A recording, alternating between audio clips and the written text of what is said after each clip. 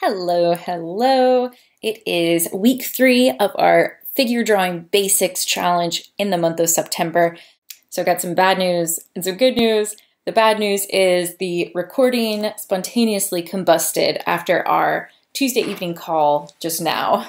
So unfortunately, we missed all the fun of live drawing with our group that was on tonight. However, the good news is I'm here to quickly recap and make sure you have everything you need to know for drawing for the next two weeks. Because, very important note, next week, the fourth week of September, we will not have our live call. However, you can come on back to this recording if you want to check back in to see what the dealio is.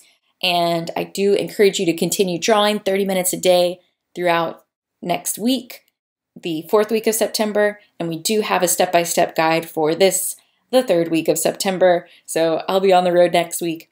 And this could also next week be a good time to check out some of the courses that are out there in the Learn 10 Steps to Drawing community. So there is the From Stick Figures to Savvy Sketches free course. That's a really fun one. It would not probably not even take you, definitely not the five days of 30 minutes of drawing a day, but it's a really fun, simple shape focused figure drawing class that also incorporates backgrounds and environments and architecture and backgrounds are what we're going to be focusing on next month in the month of October. So we'll take all of this great figure drawing stuff we've been practicing and give it a world, a surrounding for our students or for our figures.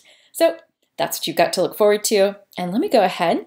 So let's dive into the figure drawing week three and four challenge. So for day one and two, the first couple of days that you're going to be practicing, I am challenging you with anatomy. So check it out.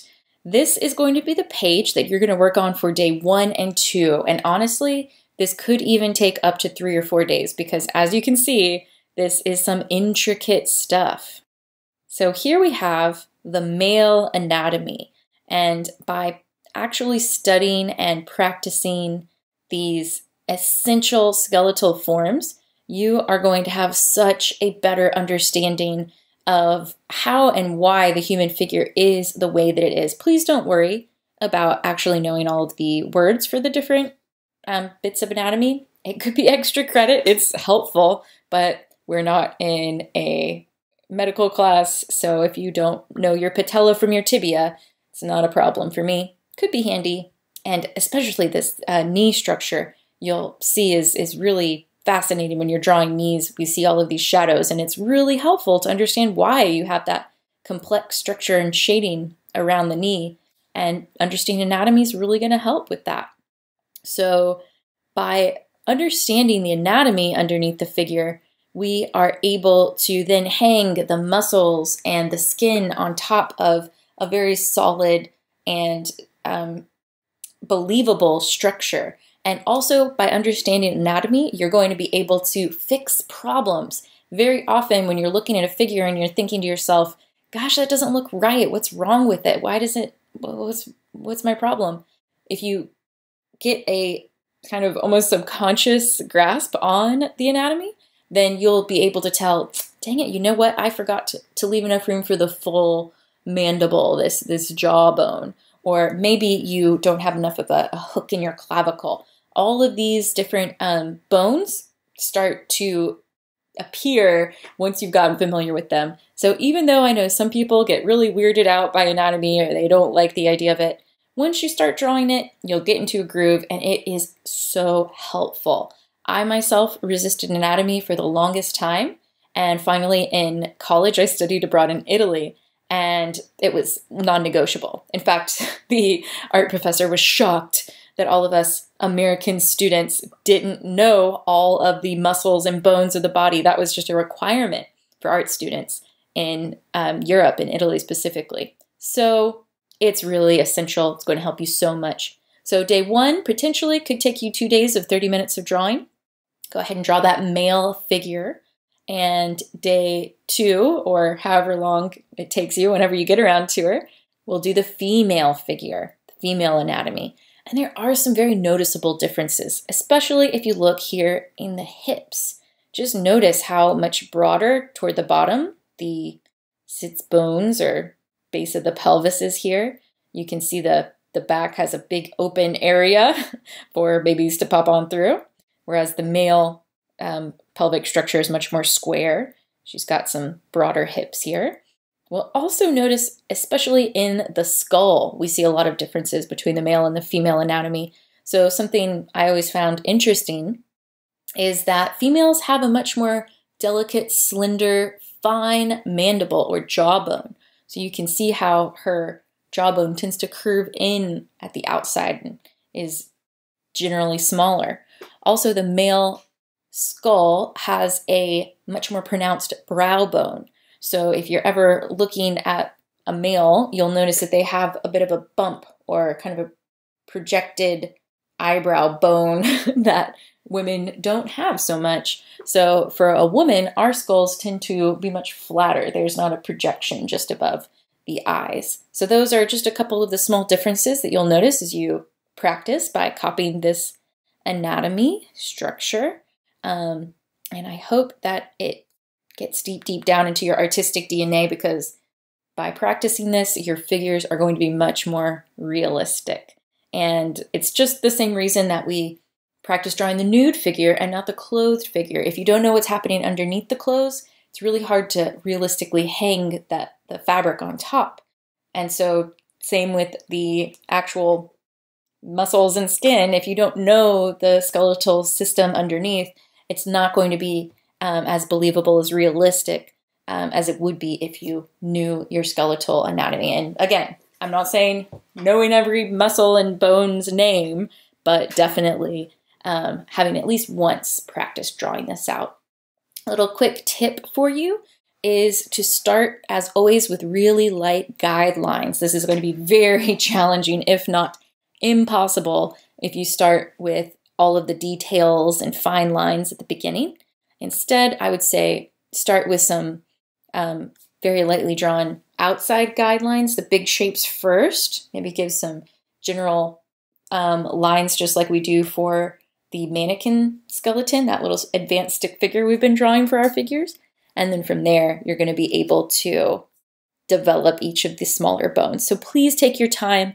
Honestly, this could take you anywhere from two to four days. So I want y'all to really internalize Sorry, your skeleton anatomy. Okay, so that is going to be day your first couple of days of drawing um, for this coming week. And then after that, we are going to be spending the rest of the week and all of week four in real figure drawing class mode. So we are putting it all into practice. If you can, how amazing would it be to go to a real life drawing class? If you got the opportunity, oh my gosh, please do and let us know how it goes. And please know that it's going to be a big hot mess in the beginning. And probably after an hour, you'll feel like you're, you're in the zone. So that's normal. Um, if you don't have a class available to you, then check out line dash of dash action.com and we're going to do the class mode this time. So up until now, when we've been doing the lineofaction.com, we've been going to all the same length poses, and we will practice, or I'll show you what that looks like when you enter that that mode. And unfortunately, that is what we did tonight at the uh, live drawing. So sorry that recording didn't come through, but I'll show you exactly what it looks like in a second here. Just want to mention, I went ahead and added a bonus page, and both of these images are from the epic Andrew Loomis's Figure Drawing for All It's Worth book. Um, that link is in the topics section under Figure Drawing Basics. So if you would like to get that downloadable free PDF, just go on over to learn.10 steps to drawing or access it through your app. Check out the sidebar where you'll see topics. And if you click the figure drawing topic, it's going to be listed as um, it'll look like three lines, horizontal lines, and you'll see the, the downloadable um, option. So, what this bonus is all about is the value scale, using your full range of light to dark to create realistic three dimensional figures. You're welcome to use this particular image or whatever you find elsewhere. Um, but as you'll see, the most important thing I'd like you to do here is actually include a drawn out value scale, practice that value scale before you begin drawing the figure. And you would begin drawing the figure just the same way we've been practicing, get some guidelines in, um, start from the mannequin frame and then develop it into the shapes and then finally the shading to get that form. And when you're there doing that shading, check your work. Ask yourself, where's my brightest highlight? Where are my white areas? Do I have that? Yes. How about the second to lightest shading? Hmm, okay, I'm seeing that here in these um, still brightly lit but uh, slightly shaded areas of depth. Um, same with the mid tones. Those are really where a lot of the, the richness happens, is that subtle difference between um, light and dark and not that just high contrast black and white. So at the same time, you do still want to make sure you've got a few areas that have that darkest dark. And in her figure here, I'm really only seeing that under her arm and a bit um, under the chin, around the back of her hair. And the rest, she's got very softly shaded gradations of the mid range and high range tones with a nice, strong contrast of the background to make her pop. So that's your bonus in case you want to do something besides just 30 minutes of figure drawing a day. Um, you've got that option. Don't forget to post your work because I want to see what you are up to. So let's see what you'll be doing for the class sessions of the figure drawing homework. So here at line-of-action.com, you're going to click figure drawing. That'll take you here to our figure study tool. You're going to go to nude models both male and female. And here's where we're really changing things up. This time we're going to class mode. And in the class mode, we're taking the shortest version, the 30 minute class. So that's going to be 10 30 second poses, five one minute poses, two five minute poses, and one 10 minute long pose. This is exactly what a real life drawing class is like. However, usually a life drawing class is something more like two hours, which you could definitely just give yourself a longer class there. So that would be six 30 second poses, three one minute poses, and so on until you finally have a nice long 50 minute pose. And what's really cool about lineofaction.com is if you don't like what the model is doing, you can switch around and find a better um, model pose that you like and work with that. And when the 30 second poses, I wouldn't be too picky. They go so quickly. And of course, because they're going so quickly, the expectation is not for you to get anything more than just that mannequin frame. This guy right here. So when you first begin those 30 second and one minute poses, you're only going to aim to get the head, the line of the shoulders and hips, and spine line and limbs. By the time you get to a minute, you might have time to add your rib cage, five minute poses. You might get into some of our more formative shapes, the three dimensional suggestions of just a little bit of shading. And finally, in the longer 10 minute pose, just go for it, add all the detail you can. And just want to show y'all real quick what we did in class today, but unfortunately it's lost forever. Uh, these were the 30 second poses that I did about 10 of them here. And as you can see, it took me a while just to even get into the groove of finding those key shapes, sorry, key lines. And I was kind of trying to check my proportions at the same time, but going this quickly, you don't have a lot of time to think, which actually can be a good thing because boom, you just, it's like get it right or you don't get it at all. and you can be loose and flowy. Don't don't stress about these. Nobody can draw anything in 30 seconds. Okay. Here was the one minute poses. And I got a little bit further, drew a little bit larger. And the main difference is you see the rib cage here. So I had a little bit more time to check my proportions, but um, not time to add any shapes or anything like that. The next couple of drawings here, we have five minutes, five minutes, and 10 minutes. Is what we did in class tonight. And as you can see, I still started in a very light pen drawing my guidelines and kind of that mannequin stick figure underneath.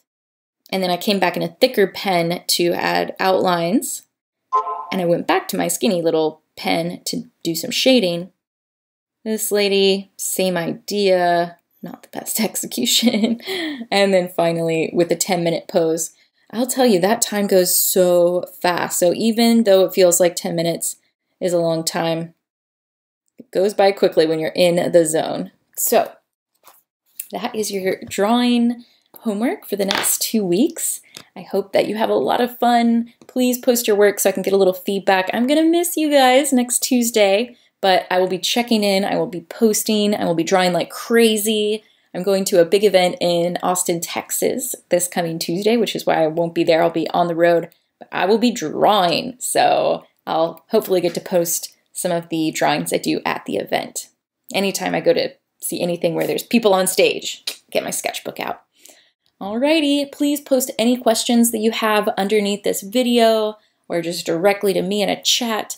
And thank you so much for your dedication to drawing. Just keep sticking with it, and you're just going to get better and better and have more and more fun until you're addicted and you're carrying your sketchbook everywhere.